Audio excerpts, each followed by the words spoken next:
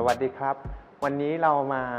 เรียนรู้นะครับ โรคทางด้านระบบการหายใจนะครับ ที่น่าสนใจโรคหนึ่ง แล้วก็พบบ่อยมากขึ้นมากขึ้นในปัจจุบันนะครับ มาดูกันนะครับว่าโรคนี้คืออะไรนะครับ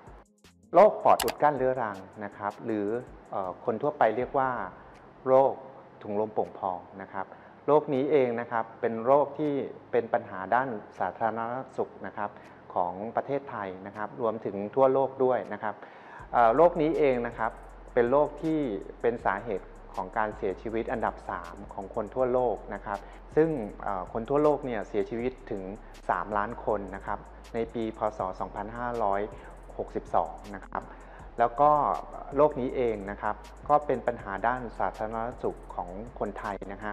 คนไทยเองเกิดโรคนี้ประมาณ 1.5 ล้านคนนะครับ ต้องสูญเสีย ค่าใช้จ่ายในการรักษาพยาบาลนะครับถึง 120,000 ล้านบาทนะครับต่อปีนะฮะซึ่งจะเห็นว่ามีความสำคัญอย่างมากด้านสาธารณสุขครับ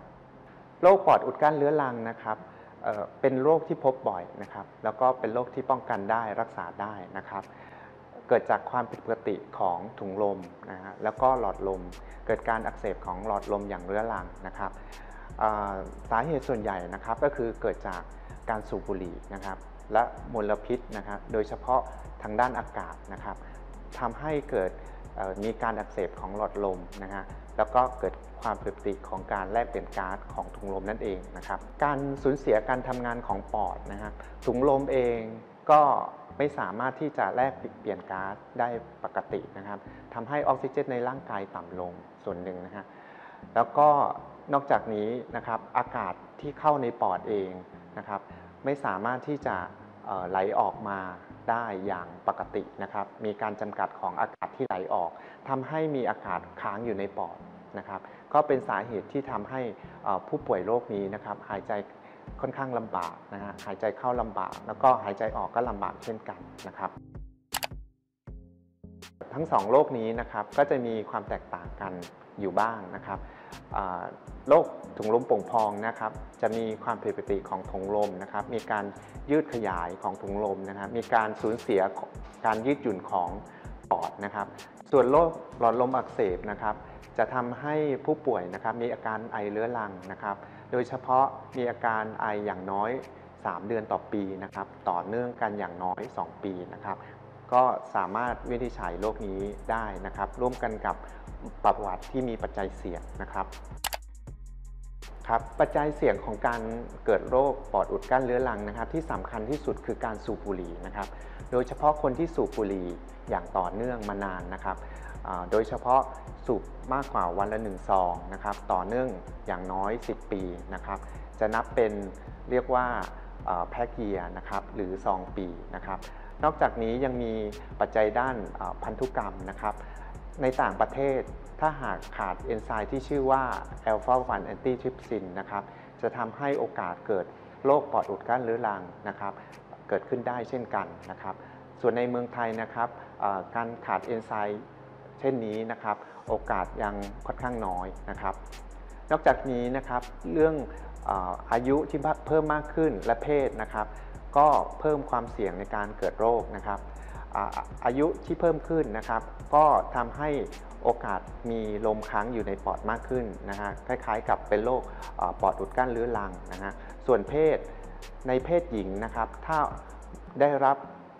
สารนะครับ เช่นบุหรี่ควันบุหรี่นะครับ ในปริมาณที่เท่ากับเพศชาย โอกาสที่จะเกิดโรคปอดอุดกั้นเรื้อรังนะครับ มากกว่าเพศชายนะครับ นอกจากนี้นะฮะการเจริญเติบโต หรือการพัฒนาของปอด ตั้งแต่ในครรภ์นะครับในวัยเด็กแล้ววัยรุ่นนะครับ ถ้ามีการเจริญเติบโตของปอดผิดปกตินะครับ ก็โอกาสจะเกิดโรคนี้ได้เช่นกันนะครับ ปัจจัยเสี่ยงอื่นนะครับที่ทำให้เกิดโรคนะครับ ได้แก่การสัมผัสสารมลพิษนะครับ โดยเฉพาะฝุ่นขนาดเล็ก PM 2.5 นะครับ หรือก๊าซพิษนะครับไนโตรเจนไดออกไซด์นะครับทำให้เกิดโรคนี้ได้เช่นกันนะครับ นอกจากนี้นะครับการติดเชื้อที่สำคัญคือวัณโรคปอดนะครับ หากมีการทำลายของปอดอย่างมาก โอกาสเกิดโรคนี้ได้เช่นกันนะครับ ปัจจัยอีกอันนึงนะครับก็คืออการเกิดโรคหืดในวัยเด็กนะครับภาวะนี้นะครับ ถ้าเกิดแล้วไม่ได้รับการรักษาอย่างเพียงพอนะครับ หรือเอเกิดภาวะหลอดลมอุดกั้นนะครับเอ่ออย่างเรื้อรังนะครับ จากโรคหอบหืดนะครับ ก็โอกาสเกิด โรคปอดอุดกั้นเรื้อรังนะครับ เมื่อโตขึ้นก็ทำให้เกิดโรคนี้ได้เช่นกันนะครับ อาการของผู้ป่วยในโรคนี้นะครับ ที่สำคัญคืออาการเหนื่อยนะครับ ในช่วงแรกอาจจะอาการเหนื่อยยังไม่เด่นชัดนะครับ ถ้าความผิดปกติของปอดเพิ่มมากขึ้นนะครับ จะเริ่มมีอาการเหนื่อยเวลาออกแรงนะครับ มากขึ้นมากขึ้น จนบางครั้งอาจจะเหนื่อยขณะที่อยู่เฉยๆนะครับ บางคนนะครับอาจจะมีภาวะหายใจล้มเหลว จนถึงขั้นต้องอได้รับการรักษาในโรงพยาบาลนะครับได้นะครับบางคนนะครับมีอาการไอเสมหะนะครับมีอาการแน่นหน้าอกร่วมด้วย หายใจมีเสียงวีดร่วมด้วยได้นะครับ ส่วนอาการอื่นๆนะครับ บางคนนะครับในผู้ป่วยโรคนี้อาจจะมีอาการอ่อนเพลียนะครับ เบื่ออาหารน้ำหนักลดได้นะครับ ซึ่งอาจจะต้องแยกจากภาวะอื่นๆ เช่น การติดเชื้ออวัณโรคปอดนะครับหรือมะเร็งปอดนะครับออออกไปก่อนนะครับ ซึ่งอาจจะมีลักษณะคล้ายกันต้องอาศัยการวินิจฉัยของแพทย์นะครับ การวินิจฉัยโรคปอดอุดกั้นเรื้อรังนะครับ อาศัยประวัติปัจจัยเสี่ยง และอาการดังที่ได้กล่าวมาแล้วนะครับ ร่วมกันกับการตรวจพบ ภาวะหลอดลมอุดกั้นนะครับ โดยวิธีการตรวจสมรรถภาพปอดนะฮะด้วยวิธีสเปโรเมตรีนะครับ พบภาวะการจำกัดไหลของอากาศนะครับ การประเมินก่อนการรักษานะครับในโรคนี้นะครับ นอกจากการตรวจสมรรถภาพปอดที่บ่งถึงความรุนแรงภาวะหลอดลมอุดกั้นแล้วนะครับ เราจำเป็นต้องประเมินอาการของผู้ป่วยด้วยนะครับ ว่ามีอาการเหนื่อยมากน้อยเพียงใดนะครับ ร่วมกับโรคร่วมนะครับ ที่สำคัญได้แก่โรคหัวใจและหลอดเลือดนะครับโรคภาวะหัวใจล้มเหลวนะครับภาวะหัวใจเต้นผิดจังหวะโรคทางด้าน metabolic syndrome เช่นโรคเบาหวานนะครับโรคกระดูกพรุนนะหรือโรคภาวะทางจิตใจนะครับ เช่น ภาวะซึมเศร้าวิตกกังวลนะครับภาวะโรคหยุดหายใจขณะนอนหลับจากการอุดกั้นนะครับ และที่สำคัญอีกโรคหนึ่งก็คือโรคมะเร็งนะครับ โดยเฉพาะมะเร็งปอดนะครับ เนื่องจากผู้ป่วยที่สูบบุหรี่โอกาสจะเกิดโรคปอดอุดกั้นเรื้อรังแล้ว อาจจะทำให้เกิดโรคมะเร็งปอดได้ด้วยนะครับ การรักษาโรคนี้นะครับมีเป้าหมายที่สำคัญก็คือลดอาการเหนื่อยของผู้ป่วยนะฮะร่วมกับการป้องกันภาวะหอบกำเริบนะครับทำให้ผู้ป่วยสามารถออกกำลังได้มากขึ้นนะครับ เพิ่มสมรรถนะนะครับ แล้ว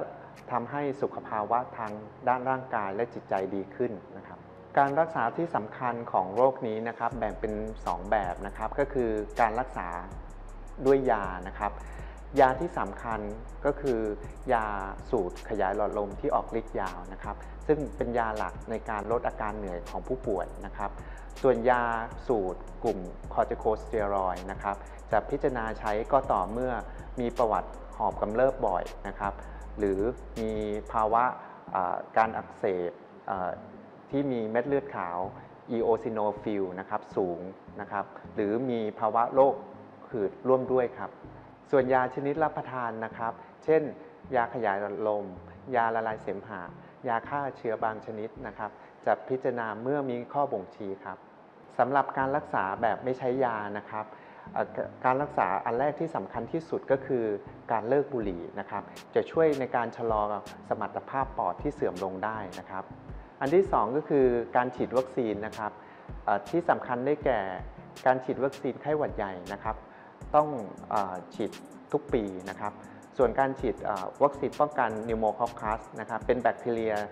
ชนิดหนึ่งนะฮะที่ทำให้เกิดปอดอักเสบรุนแรง และการติดเชื้อในกระแสเลือด ก็ควรจะพิจารณาฉีดก็ต่อเมื่อมีค่าสมรรถภาพปอดต่ำอย่างมากนะครับ ที่สำคัญอีกอย่างหนึ่งคือวัคซีนโควิดนะครับ ก็แนะนำให้ฉีดในผู้ป่วยที่เป็นโรคปอดอุดกั้นเรื้อรังทุกคน นอกจากนี้นะครับยังมีวัคซีนป้องกันบาดทะยักคอตีบไอโครนนะครับจะพิจารณาก็ต่อเมื่อในผู้ที่ยังไม่เคยได้รับการฉีดตั้งแต่ในวัยรุ่นนะครับส่วนตัวสุดท้ายนะครับก็คือวัคซีนป้องกันงูสวัสดนะครับจะพิจารณาฉีดในผู้ป่วยที่เป็นโรคนี้ที่มีอายุตั้งแต่ 50 ปีขึ้นไปครับ การรักษาอย่างอื่นนะครับที่มีความสำคัญได้แก่ การกายภาพฟื้นฟู สมรรถภาพปอด และการออกกำลังนะครับ จะมีการมาฝึกนะฮะด้านกายภาพปอดได้ทั้งที่ที่ในโรงพยาบาล และฝึกที่บ้านนะครับ ควรจะต้องอฟื้นฟูสมรรถภาพปอดอย่างสม่ำเสมอ การบำบัดด้วยออกซิเจนที่บ้านนะครับ จะพิจารณาใช้ก็ต่อเมื่อมีค่าออกซิเจนในเลือดต่ำอย่างมากนะครับ ส่วนการรักษาด้วยการผ่าตัดนะ คือการผ่าตัดลดปริมาตรปอดส่วนที่ไม่ดีนะครับ ก็คือตัดถุงลมที่โป่งพองบางส่วนออกไปนะครับ จะช่วยทำให้การแลกเปลี่ยนก๊าซที่ดีขึ้นได้ จะพิจารณาก็ต่อเมื่อมีข้อบ่งชี้ แล้วก็ขึ้นอยู่กับดุลยพินิษของแพทย์ครับ ส่วนในการรักษาระยะสุดท้ายของโรคนะครับ หากแพทย์ไม่สามารถรักษาได้แล้วนะครับ อาจจะพิจารณานะครับ การรักษาแบบประคับประคอง และการดูแลวาระสุดท้ายของชีวิตนะครับ เช่น การให้ออกซิเจนนะครับ การให้ยาแก้ปวดนะครับ การให้กำลังใจ การดูแลทางด้านจิตใจนะครับ ทั้งด้านผู้ป่วยและญาติร่วมด้วยนะครับ โดยสรุปนะครับจะเห็นได้ว่าโรคปอดอุดกั้นเรื้อรังนี้นะครับ สามารถป้องกันได้โดยการหลีกเลี่ยงการสูบบุหรี่นะครับ มลพิษจากทางด้านอากาศนะครับ แล้วก็การป้องกันด้านสุขภาพของตนเองนะครับ หาก เกิดโรคนี้แล้วถ้าวิธีใช้ตั้งแต่เนิ่นๆนะครับ ก็จะป้องกันภาวะหอบกำเริบได้ แล้วทำให้มีคุณภาพชีวิตที่ดีขึ้นได้ครับ